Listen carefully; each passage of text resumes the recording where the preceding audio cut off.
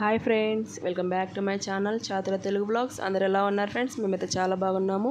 మీరు కూడా చాలా చాలా బాగుండాలని మనస్ఫూర్తిగా కోరుకుంటూ ఈరోజు వీడియోని అయితే స్టార్ట్ చేస్తున్నాను. ఆలస్యం చేయకుండా ఇక వీడియోలోకి అయితే వెళ్దాం ఫ్రెండ్స్. వీడియోలోకి వెళ్ళే ముందు చిన్న రిక్వెస్ట్ ఫ్రెండ్స్. కొత్తగా మన ఛానల్ చూసినట్లయితే ప్లీజ్ సబ్స్క్రైబ్ చేసుకొని సపోర్ట్ చేయండి. అలాగే ఒక లైక్ అయితే ఇవ్వండి. మీరు ఇచ్చే లైక్ వల్ల వీడియో అనేది మరికొంతమందికి రీచ్ అయ్యే అవకాశం ఉంది కాబట్టి అలా ఒక లైక్ ఇచ్చి సపోర్ట్ అయితే చేయండి. ఇక వీడియోలోకి అయితే వెళ్దాం ఫ్రెండ్స్. ఇక్కడ నేను చుక్క కూరను అనేది తీసేసుకున్నానండి. చుక్క కూరను మనం ఎన్ని విధాలుగా కట్ చేసుకోవచ్చు అని ఇక్కడ వీడియోలో మీతో షేర్ చేసుకోబోతున్నాను. ఇక్కడ చూడండి నేను బ్యాంగిల్స్ అనేది తీసుకున్నాను. మెటల్ బ్యాంగిల్స్ ఉంటాయి కదండి. మెటల్ బ్యాంగిల్స్ అనేది తీసేసుకొని మెటల్ బ్యాంగిల్లోకి మనము ఈ ఆకుకూరను అనేది ఈ విధంగా ఎక్కిచ్చేసుకోవాలి. ఈ విధంగా ఎక్కించేసిన తర్వాత మనం ఒక చాకుని తీసేసుకొని ఆకుకూరను అయితే మనం ఈ విధంగా నీట్గా అయితే కట్ చేసుకోవచ్చు అండి మనం ఈ విధంగా కట్ చేయడం వల్ల చిన్న చిన్నగా మనం కట్ చేసుకోవచ్చు అండి మనం కత్తిపీటతో కట్ చేసుకుంటే మనము ఎక్కువ ఎక్కువ కట్ చేసుకొని లావు లావుగా కట్ చేసుకుంటాం కదండి. ఆ విధంగా కాకుండా మనం ఈ విధంగా చాకు తీసుకొని చిన్నగా చిన్న చిన్నగా కడితే కట్ చేసుకోవచ్చు చూడండి. చూడండి ఈ విధంగా మనం ఆ కుక్కర్ని అయితే ఈజీగా కట్ చేసుకో కట్ చేసుకోవచ్చు.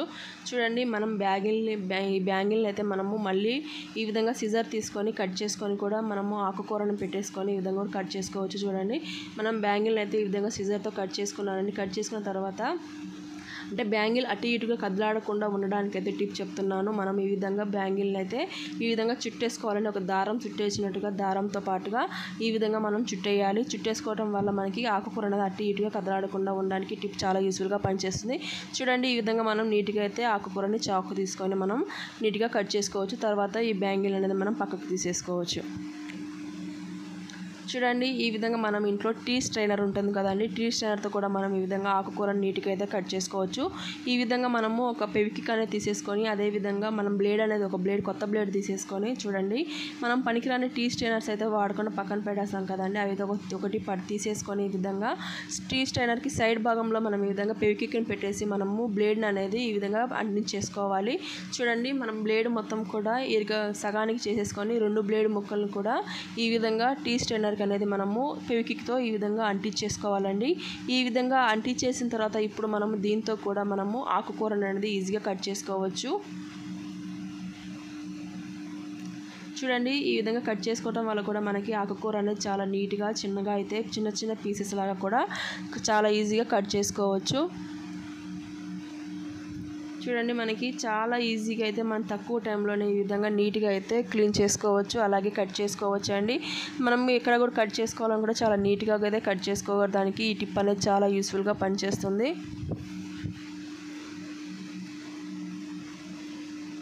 చూడండి మనం చాకుతో అయినా కట్ చేసుకోవచ్చు. ఈ విధంగా టీ స్టైనర్తో అయినా సరే ఆకుకూర అనేది మనం ఈ విధంగా నీట్గా కట్ చేసుకోవచ్చు. చూడండి ఇప్పుడు నేను మొత్తాన్ని కూడా ఒక ప్లేట్లోకి అనేది తీసేసుకున్నాను. చూడండి ఈ విధంగా తీసేసుకున్న తర్వాత నేను వాటర్తో అయితే బాగా నీట్గా టూ టైమ్స్ అయితే వరకు వాష్ చేశానండి. ఎందుకంటే ఆకుకూరలో మనం ఈ విధంగా వాష్ చేసుకొని నీట్గా అయితే కట్ చేసుకో వాష్ చేసుకోవాలి. లేకపోతే మనం కట్ చేసే ముందు కూడా ఆకుకూరను మొత్తం కట్ చేసుకుంటే కూడా ఇంకా దానిలో ఉన్న పోషకాలన్నీ కూడా మనకే అందుతాయి.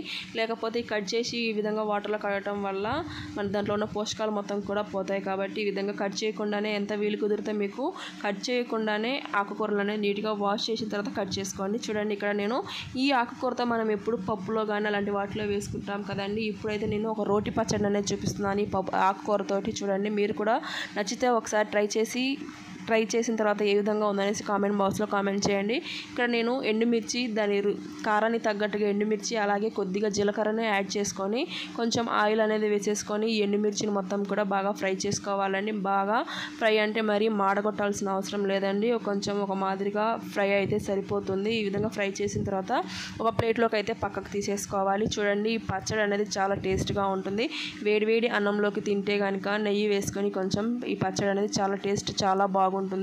చూడండి ఈ విధంగా మనము కట్ చేసుకున్నటువంటి ఆకుకూరను కూడా ముందుగా మనం ఎండుమిర్చి ఫ్రై చేసుకున్నాం కదండి. ఆ బాండీలోనే వేసేసుకొని మనం కొంచెం ఆయిల్ అనేది వేసేసుకొని ఆకుకూరను కూడా ఫ్రై చేసుకోవాలి. చూడండి దీంట్లో కొంచెం సాల్ట్ వేసేసుకొని ఫ్రై చేసిన తర్వాత మళ్ళీ మనం ఒక టూ టమాటోస్ అనేది చిన్న పీసెస్లా కట్ చేసుకొని వేసుకోవాలి. ఈ టమాటోస్లో ఈ పాలకూర ఆ చుక్కకూరలో ఉన్నటువంటి వాటర్ టమాటాలో ఉన్నటువంటి వాటర్ మొత్తం కూడా పోయేంత వరకు మనం ఈ విధంగా అయితే ఫ్రై చేసుకోవాలి. చూడండి మనకి తక్కువ టైంలోనే ఫ్రై అయిపోతుంది. ఎక్కువ టైం కూడా ఏం పట్టదండి మనకి ఇది ఫ్రై అవుట్ ఫ్రై అవుట్ అవ్వడానికి. చూడండి ఈ విధంగా ఫ్రై చేసుకున్న తర్వాత నేనైతే ఇక్కడ రోట్లో వేసి చూపిస్తున్నాను. దంచుకొని చూద్దాం చూడండి ఎంత టేస్ట్గా ఉంటుందో పచ్చడి అనేది. మీరు చూస్తేనే మీకు నోరు అయితే ఊరిపోతూ ఉంటుంది తినాలనిపిస్తుంది. ఈ విధంగా అయితే నేను ఎండుమిర్చి అనేది వేసేసుకొని రోట్లో కొంచెం కల్లుప్పు అనేది వేసేసుకొని ఈ విధంగా దంచుకుంటున్నానండి. ఈ విధంగా చూడండి మనకి ఎండుమిర్చి మొత్తం కూడా మనకి మెత్తగా అయ్యేంత వరకు దంచేసుకోవాలండి.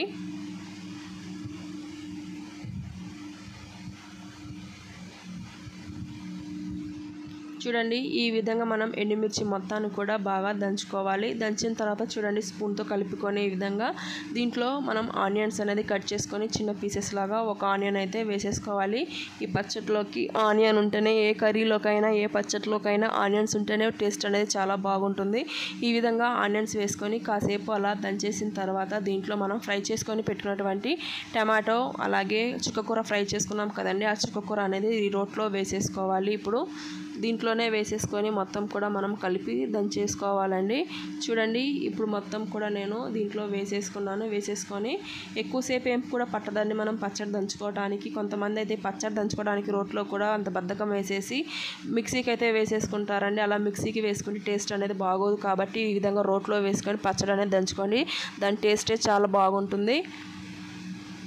చూడండి మనకి తక్కువ టైంలోనే పచ్చడి కూడా కట్ చేసుకున్నాం కదండి. ఎంత టైం పట్టిందండి మనకి? ఒక ఫోర్ టు ఫైవ్ మినిట్స్ వరకే పడుతుందని ఎక్కువ టైం కూడా ఏం పట్టదు మనం పచ్చడి చేసుకోవడానికి చూడండి. దీంట్లో కొంచెం ఉప్పు చూసేసుకొని ఉప్పును అయితే యాడ్ చేసుకొని ఇప్పుడు ఒక గిన్నెలోకి ఒక బౌల్లోకి అయితే తీసేసుకుందాము.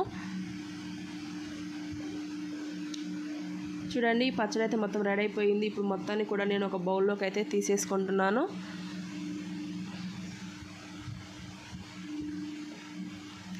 చూడండి ఈ విధంగా తీసేసుకున్న తర్వాత మనము ఈ పచ్చట్లోకి ఈ విధంగా తిన్నా బాగానే ఉంటుంది వేడివేడి అన్నంలోకి. లేకపోతే మనం పచ్చడిని కొంచెం తాలింపు వేసుకున్నా కానీ బాగానే ఉంటుంది. నేనైతే ఇక్కడ తాలింపు కూడా వేసుకుంటున్నాను చూడండి కాకపోతే తాలింపు ప్రాసెస్ అనేది చూపించకుండా చూపించడం లేదు. ఎందుకంటే తెలిసిన ప్రాసెసే కదండి. అందుకని తాలింపు కూడా వేసేసుకొని పచ్చట్లో నేను ఈ విధంగా కలిపేసుకుంటున్నాను. చూడండి ఈ పచ్చడి టేస్ట్ అనేది చాలా బాగుంటుంది. మీరు కూడా ఒకసారి ట్రై చేసి ఏ విధంగా ఉందనేసి కామెంట్ బాక్స్లో కామెంట్ చేయండి. ఈ టిప్స్ అన్నింటిలో మీకు ఏ టిప్స్ అయితే బాగా నచ్చాయో కామెంట్ బాక్స్లో కామెంట్ చేయండి. ఇది ఫ్రెండ్స్ ఇవాళ వీడియో అయితే నచ్చితే లైక్ చేయండి షేర్ చేయండి కామెంట్ చేయండి. మీలో ఎవరైనా కొత్తగా మన ఛానల్ చూస్తుంటే ప్లీజ్ సబ్స్క్రైబ్ చేసుకొని సపోర్ట్ చేయండి. ఇంతవరకు సపోర్ట్ చేసేందుకు మీ అందరికీ చాలా చాలా ధన్యవాదాలు. రేపు మరొక విడత మళ్ళీ కలుసుకుందాం. అంతవరకు బాయ్ ఫ్రెండ్స్.